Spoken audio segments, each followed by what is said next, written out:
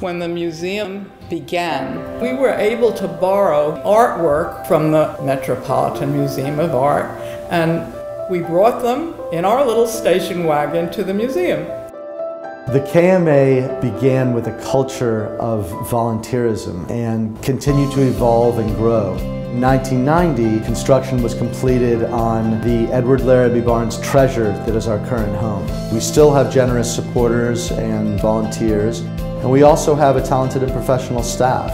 And I envision a bright future in which we mount world-class programs and exhibitions. We expand our campus to include amphitheater seating for performances, native plants and trees, total ADA accessibility, a new cafe. The KMA will continue to be the heart and soul of this community. The future of the Katonah Museum of Art is absolutely limitless. I see us as being a place where we will continue the tradition of having really great exhibitions where we give the opportunity for arts literacy learners as well as connoisseurs of fine art an opportunity to see art up close and personal. A real mission. Education, that was a serious, important part of what the museum was about, and it has grown and it has flourished.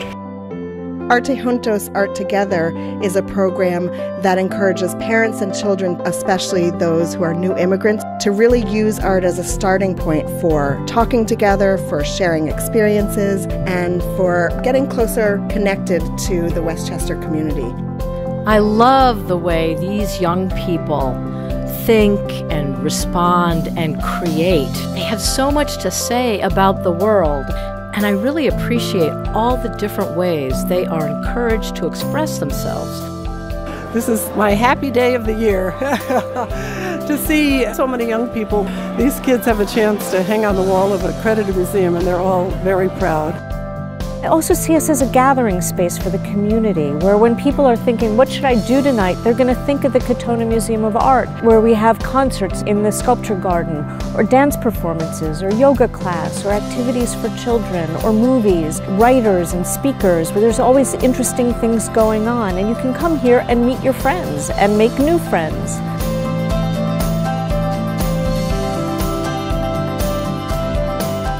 I think we're really on a roll. It's really home for our hearts. It's got the art, but it's also got the spirit.